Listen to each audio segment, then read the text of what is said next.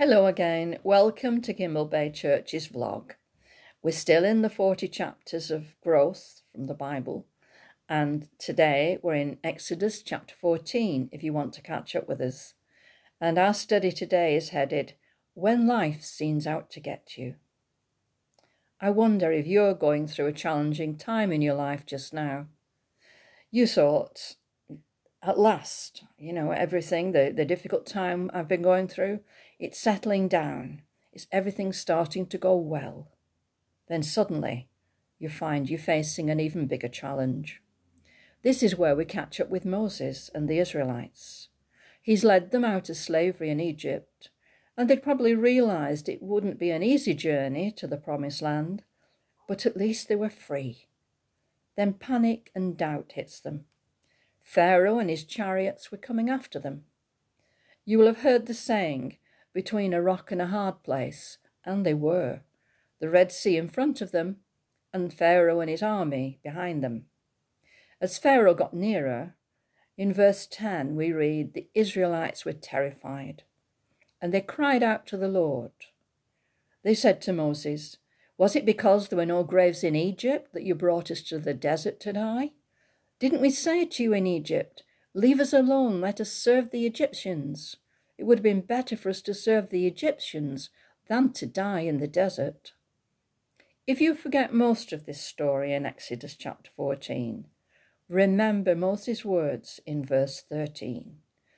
Whenever you're going through a difficult time, hang on to these words. Do not be afraid. Stand firm and you will see the deliverance of the Lord that the Lord will bring today.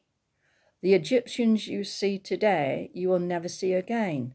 The Lord will fight for you. You only need to be still. You may remember that 400 years before this account, there'd been a famine in Israel.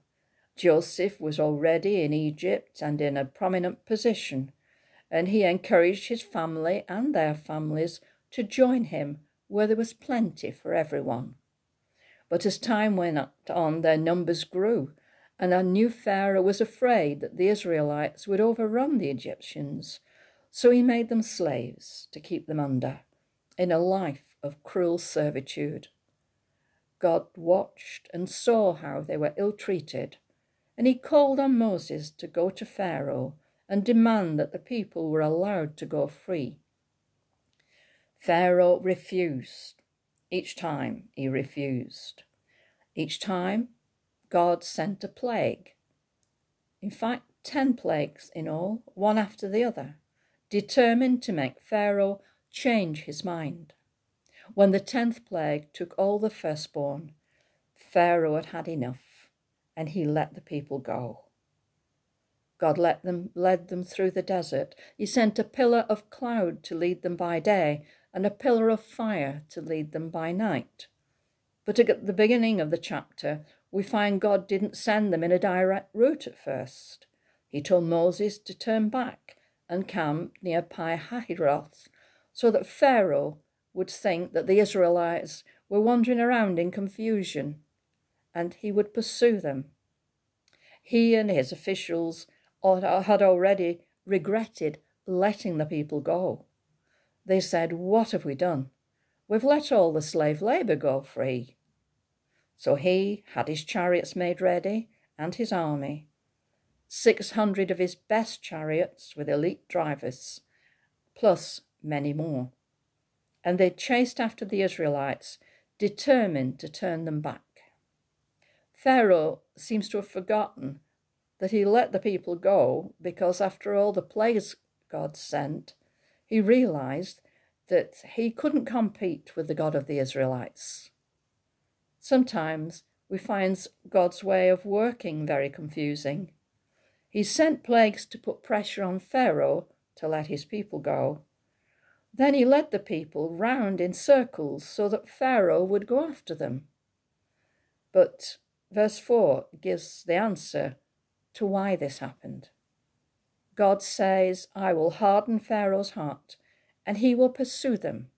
But I will gain glory for myself through Pharaoh and his army, and the Egyptians will know that I am the Lord.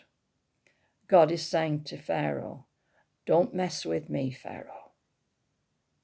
I read from our study by Darren Spoo.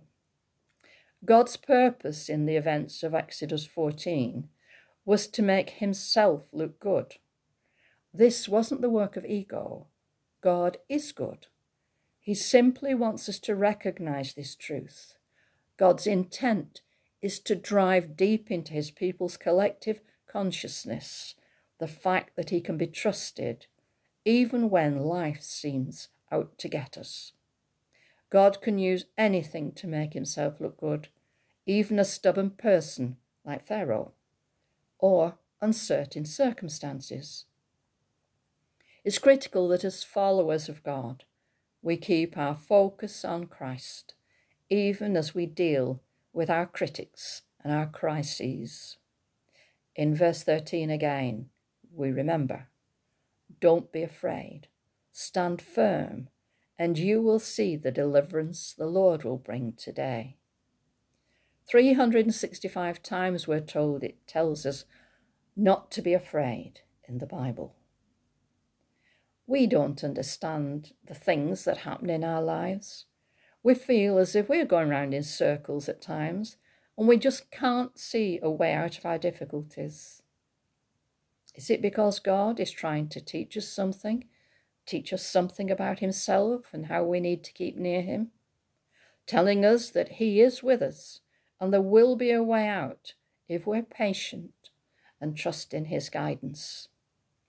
Winston Churchill is said to have a plaque on his wall in his study which says, If you are going through hell, keep going. In other words, don't give in you can outlive your problems. But it's hard, I know. In most circumstances, the saying, all things pass, is true. When we look back at a difficult time, we realize that somehow we got through it. Well, not somehow. If we're believers, we believe God got us through.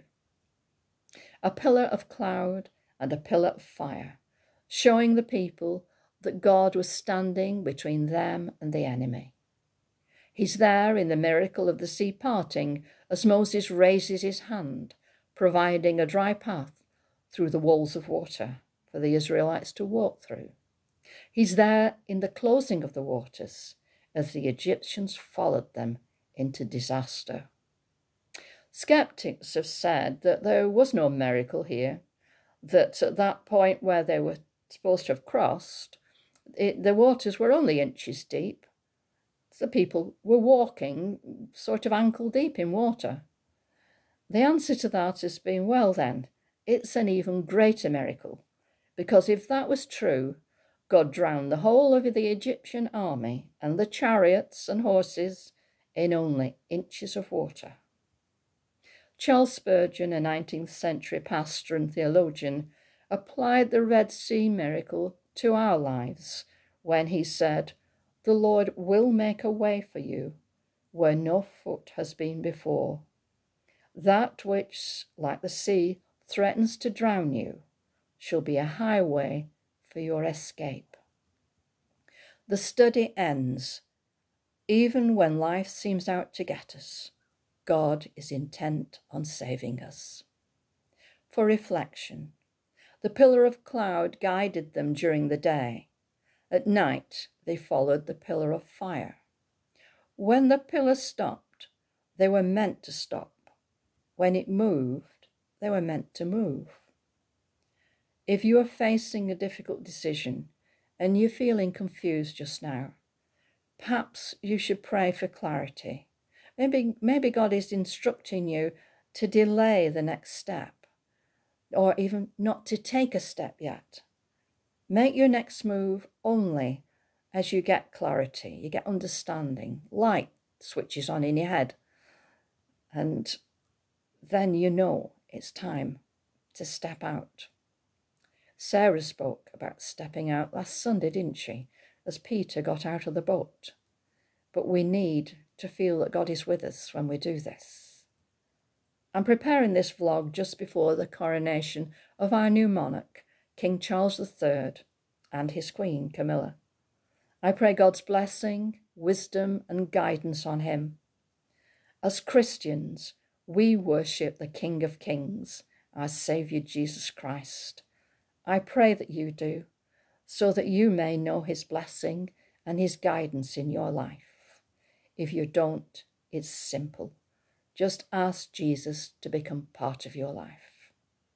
Thank you for listening. God bless you.